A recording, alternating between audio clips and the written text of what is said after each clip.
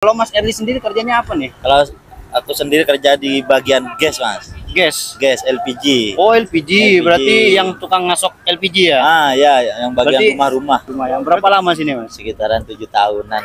Wow. Tuh kayak banyak sekali nih yang mau masuk Brunei nih. Ah. Kalau untuk masalah gaji berapa sih sekarang nih? Standarnya di Brunei. standarnya saya Oh, Berarti yang artis itu kan? bisa dibilang Artis TikTok, Mbak. apa? Eh, siapa tuh? Kampung Air. Bukan yang di Malaysia tuh.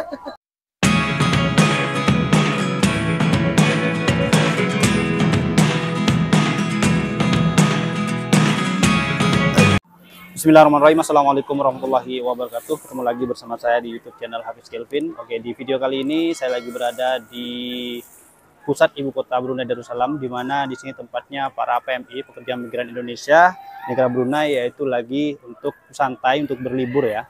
Kali ini saya sudah pengen mau cari untuk wawancara sedikit ya atau mau tanya-tanya sedikit para para TKI Brunei Darussalam.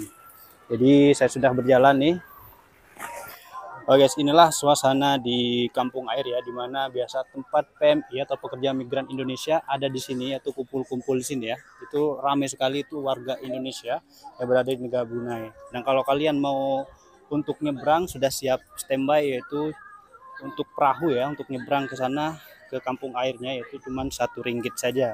Kalau bolak-balik dua ringgit. Kita akan mencari para pekerja PMI atau pekerja migran Indonesia di daerah sini. Wow, ini kalau ke sana itu ke yayasan untuk kalian yang mau foto-foto, tapi di sini enaknya di pinggir pantai kayak gitu ya. Dan juga di sini sudah berjumpa bersama para tiktokers atau mbak-mbaknya ya, yang lagi nge-tiktok nih. Wow, enak juga ya tiktokan bareng-bareng ya. Ini tiap minggu kayak gini mbak? Dan sekali sebulan. Oh sekali sebulan. Oke, boleh kenalan dulu satu persatu dulu? Boleh ya. Ini dengan Mbak siapa yang ini? Ain, Siapa? Ain. Ain. Iya. Ain, Ain doang. Iya. Yang satunya Mbak Eh, Sarah. Sarah. Oh, Berarti yang artis itu kan? Oh, bisa dibilang artis tuh, TikTok kan, Mbak? ah, apa? Artis ma- eh, siapa tuh? Kampung Air. Bukan yang di Malaysia tuh. Entah apa siapa namanya. Lupa ya. Wow. Ini ada komandannya ini. Komandannya ini. Kumpul semua. Udah tiktokan tadi Mbak? Yang ini Mbak?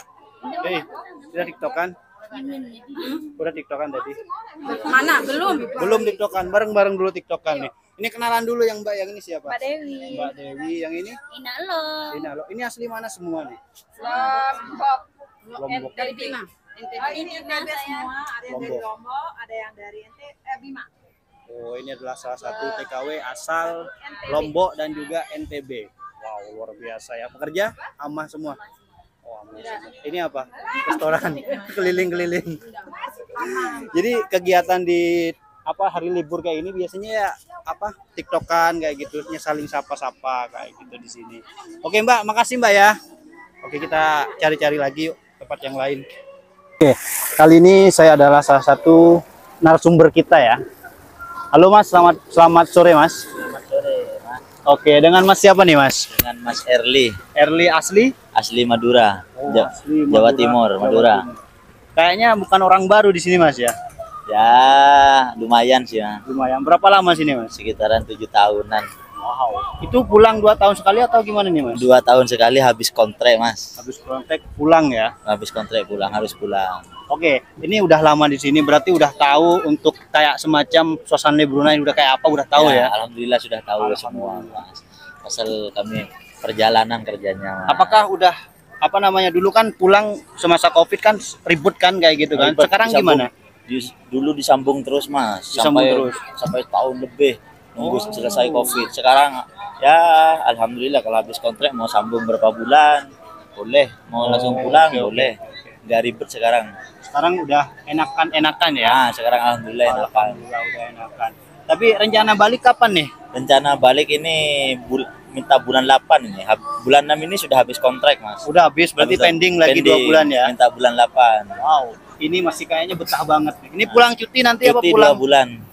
Tengok Cuti anak dua bulan dulu. ah. lama juga ya. Ya, lama mau lama sama anak mas Oh, udah Kangen rindu ya. anak. masih umur 40 hari dia 40 hari. 40 hari ditinggal sekarang sudah dua tahun Berarti memang memang betah ya, Ya, perjuangan banget ya. perjuangan. Oh ya, ini banyak sekali nih.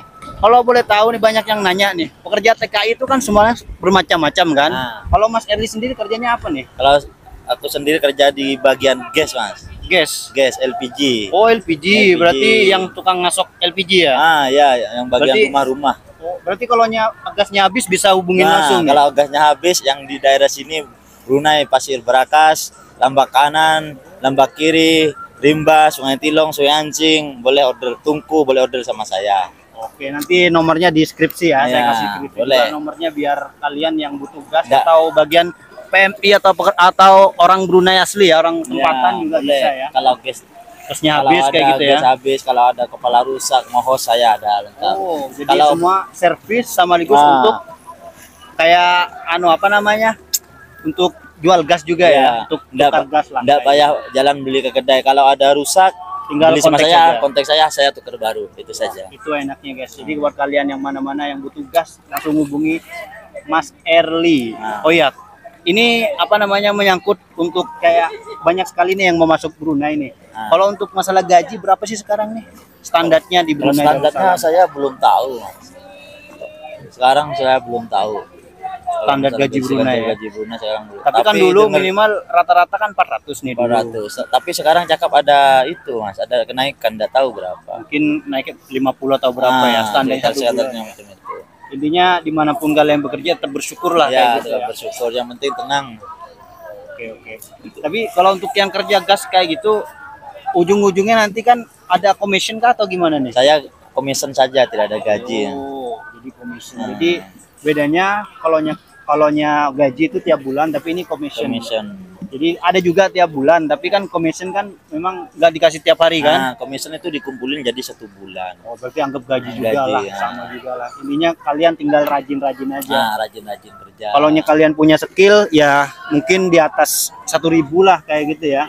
Kalau kalian punya skill, tapi kalau kalian nggak punya skill ya otomatis di mana-mana kerjanya cuman gaji ya 400 atau 4 juta lah duit Indonesia ya. Nah, ya, itu harus semangat.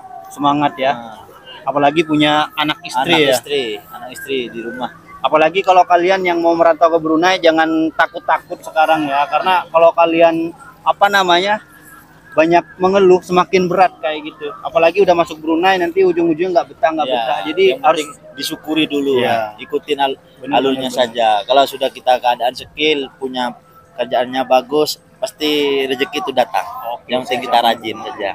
intinya sebelum kalian berangkat ke negara orang ke mana pun kalian harus siapkan diri dulu ya, siap siapkan diri. mental dulu karena kadang-kadang nggak seindah yang dibayangkan Nah, kayak yang, gitu. yang yang penting kerja rajin, jangan lupa sholat doa ah benar-benar. itu. Boleh nakal tapi jangan lupa sholat kayak gitu. Tapi lebih baik jangan lah. Oh jangan nakal ya. Jangan nakal. Jadi insaf sudah ya. Nah, Alhamdulillah. Jadi intinya-. Intinya semuanya itu tergantung dari kalian. Kalau kalian mau bergaul sama siapa pun, intinya kalau kalian tetap apa namanya memilih jalan yang salah, otomatis nggak akan dapat uang nantinya. Ya kan? Intinya ke luar negeri tabung boros boleh, tapi harus ada yang disisihkan kayak gitu. Ini Mas Erdi sangat luar biasa nih. jangan lupa berbagi sedekah. Nah, benar-benar itu berbagi. Banyak. Ba- banyak temen banyak rezeki juga intinya cari temen yang benar-benar memotivasi kita kayak gitu Yang penting jujur. ya itu kejujuran nomor satu tuh wah ini enak-enak kayak gini apalagi liburan di pantai apa namanya nih ini pantai ya di eh, kampung air lah ya Air. kampung air jadi tiap minggu memang seperti ini Kalau lagi boring aku ke sini. Kalau nggak boring di rumah aja ya rumah saja. rehat tapi tiap libur tiap minggu kah libur tiap minggu satu kali. Ya mau minggu mau cuti, mau kerja mah tidak apa. Oh oke oke. Jadi kerjanya bebas kayak gitu ya. Jadi kalau yang penting hari-hari biasa kerja kayak gitu. Karena kayak PNS lah kalau ini kalau dianggap kalau ada mau lemburan tiap minggu boleh lah. Ya kan kalau ada telepon baru. Karena ini commission kayak gitu. Intinya kalau kalian rajin gaji juga di atas rata-rata kayak gitu. Saya bersama Mas Erli. Terima kasih Mas Erli. Oke, makasih. Semoga sehat selalu Amin, ya kan. amin. Pulang kampungnya lancar. Nanti balik sini lagi. Nanti saya kalau ada waktu saya wawancara lagi. Oke, thank you. Semoga sehat selalu. Sampai ketemu lagi. Bye bye. Baik, Assalamualaikum. Itu aja ya tadi wawancara dari Mas Erli. Jadi buat teman-teman semuanya saya pesan saya kalau kalian mau merantau siapkan mental ya. Intinya berdoa jangan banyak mengeluh ya. Kalau ada apa-apa kalau di Brunei tinggal kalian lapor ke KBRI antara masalah itu gaji masalah itu jam kerja kalian lapor aja KBRI sudah ada di situ. Jadi intinya tetap semangat berjuang nafkah anak rantau saya Habib Kelvin mengucapkan banyak terima kasih. Wassalamualaikum warahmatullahi wabarakatuh. Bye bye